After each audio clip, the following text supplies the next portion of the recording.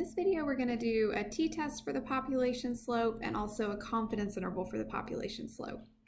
Okay, so we're using this direct mail data. An antique dealer recently opened a shop, and the shop is open to the public Tuesdays through Sundays. Direct mail, which is the unsolicited flyers and informational brochures you get through the mail, um, is the primary advertising ad is the primary advertising outlet. Direct mailings are sent out every Wednesday, and we're going to use regression to determine if sales are related to the direct mail campaign. So the first thing that we would probably try is just to look at the relationship between direct mail and sales. Um, so I'm going to follow the instructions for um, simple linear regression. These are on your reference sheet if you need them. Um, analyze fit y by x. Sales is the outcome that I care about. I'm going to use the version in dollars. Um, direct mail is the X, and then I'm going to choose um, fit line. So I don't really see much of a relationship here, right? This looks like a pretty weak relationship. Only 6% of the variability has been explained, um, but there's actually a problem with this. If we look back at our scenario, notice that the direct mailings are sent out every Wednesday. So by the time they actually arrive, it's going to be too late to um, really influence the sales that week. If anything, it would probably have an impact the following week. So let's try taking that into account in JMP. So instead of using the um, direct mail column as it is, I'm going to use a lagged version of that variable. So basically the idea is that I think that this week's direct mail is going to impact next week's sales. So I want that direct mail number for week one to be lined up with the sales number for week two. Okay, so that's what we mean when we have a lagged variable. So I'm going to do this again, analyze fit y by x. Sales is still my response, but this time I'm going to put direct mail lagged as my explanatory. And I can see I've got a stronger association now. So now it's explaining about 42% of the variability. Um, this is the model that I'm going to work with. All right, so we're going to take a look at this output.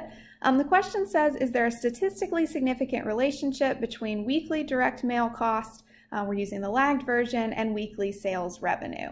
So if we are talking about um, a statistically significant relationship, we're going to write the null and alternative in terms of the slope. So the null is that the slope of the population is equal to zero, and the alternative is that the slope in the population is not equal to zero. And because we're doing everything with the slope, we're going to look at the slope row in the output. In fact, if you want to mark out this other stuff for the intercept, um, we're not going to be using that. Okay, so we've got our slope. Let me show you how to calculate the t-ratio or the t-statistic. So this has the same basic form um, as other test statistics that we've learned, and this is actually on your reference sheet. So a t-statistic is equal to a regular statistic, so here we're going to use the slope, minus the null hypothesis value, in this case that's zero, and divide it by the standard error. So the standard error of the slope, that's something else that's given in the table. So if we do our slope, 52.8153, minus zero, obviously that doesn't make a difference, divide by the standard error, 15.5738, um, then we're going to get our t-statistic, which is this 3.39. And if we want to see where that p-value comes from, we can use our t-distribution. So this is a t-distribution. Um, the degrees of freedom is going to be n minus 2. And the sample size, I didn't write it down here, but if you count the dots, the sample size is 18. Um, so in this case, the n minus 2 would be 16 degrees of freedom.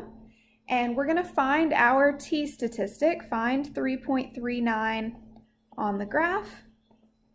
And we're going to shade everything beyond that. And then same on the other side, shade everything beyond. So we can actually try that in the distribution calculator. So I'm going to add-ins, teaching modules, distribution calculator and I need a t distribution. This is a quantitative response, so I'm picking t. My degrees of freedom was n minus 2, that was 16. I'm going to put in my t statistic, 3.39. And I want this to be a two-sided test, so I'm choosing the option down here at the bottom. I've got value 1 and value 2. Value 1 should be the negative one. Okay, and that's where I get my p-value, 0.0037. So where it says probability equals, that's the p-value. Okay, so my p-value is 0.0037. Okay, so this is a small p-value. So just like you saw on test two, when your p-value is small, um, that means that you have strong evidence. So we would always say strong evidence to conclude whatever our alternative hypothesis is. So in this case, that would be strong evidence to conclude that there is a relationship, right? Remember, if the slope is not equal to zero, that means that there is a relationship between direct mail costs and weekly sales. There is a relationship, hmm, wrong kind of mail. There is a relationship between direct mail costs and weekly sales.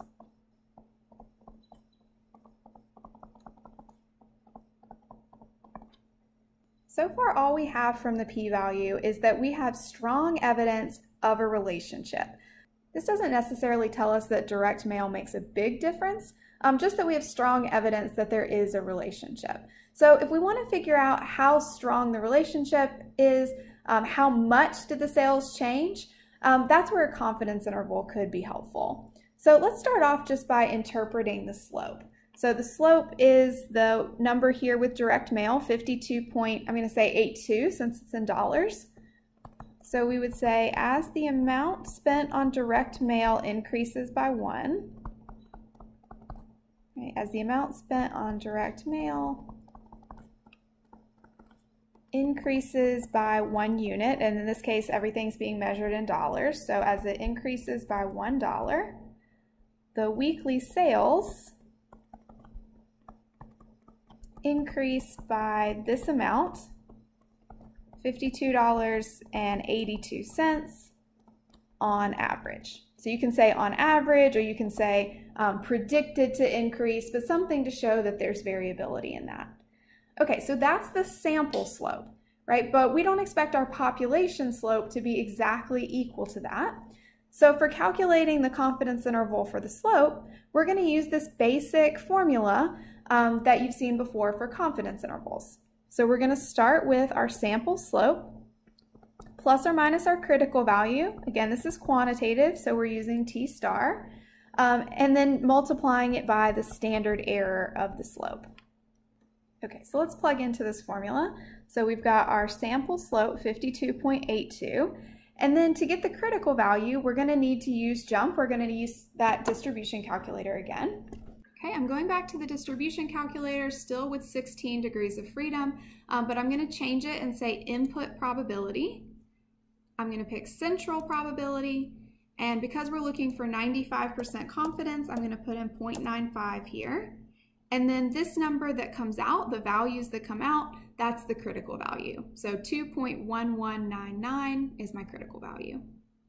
Okay, so plus or minus 2.1199 um, and then multiply the standard error. Again, we're getting this from the output, 15.5738. And when we put that together, um, it's between 19.80 all the way up to 85.83. Um, so this is a pretty wide interval if we think about um, how much payoff we're getting on this direct mail campaign.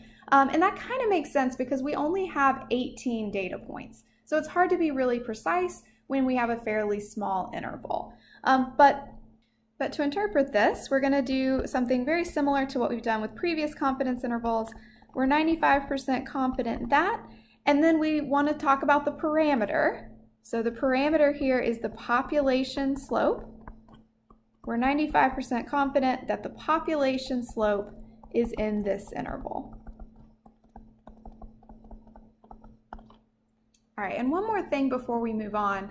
Um, is it safe to make cause and effect conclusions based on this data?